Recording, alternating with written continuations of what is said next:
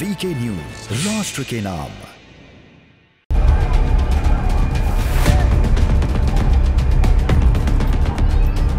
नमस्कार, मैं अमन और आपका स्वागत है वीके न्यूज़ में। हरिद्वार में हुई धर्म संसद का असर देख लीजिए। एक तरफ़ जहाँ कई कट्टरपंथियों के पेट में मचलन शुरू हो चुकी तो दूसरी तरफ़ मुस्लिम समुदाय ने भी धर्म संसद कर ली और ऐलान कर दिया कि फिर पूरा हुआ तो देखने वाले देखते ही रह जाएँ। ऐसे में सवाल यह है कि क्या ये वादा पूरा हो पाएगा या फिर माइक पर चिल्लाकर ही खत्म हो जाएगा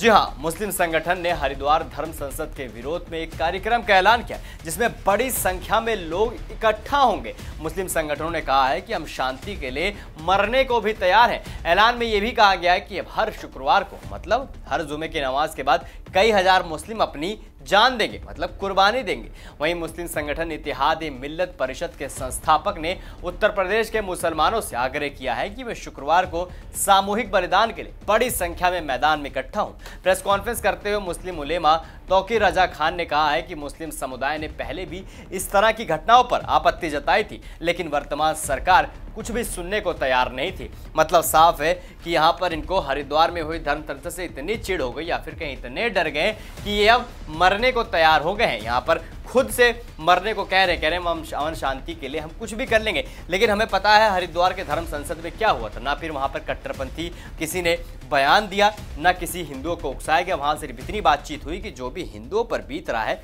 उसके बारे में बातचीत की गई थी। लेकिन जिस तरीके से इनको मिर्ची, इतनी तगड़ी मिर्ची लगी, या फिर आप कह सकते हैं कि ये डर गए हैं और मैदान पर उतर गए हैं और खुद कह रहे हैं कि हर जुमे की नमाज़ के बाद हम अपना बलिदान देंगे। लेकिन देखने वाली बात होगी कि इनकी बातें सिर्फ़ हवा रह जाती है या फिर ऐसा ये करते भी हैं। अब आपकी क्या राय इस पूरी खबर को लेकर? हमें कमेंट सेक्शन में कमेंट करके ज़रूर बताइए। और ऐसी तमाम बड़ी खबरों को देखने के लिए देखते रहिए वीके न्यूज़ राष्ट्र के नाम।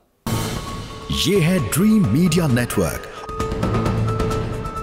और आप देख रहे हैं देश का पहला 24 four by seven digital news channel VK news राष्ट्र के नाम।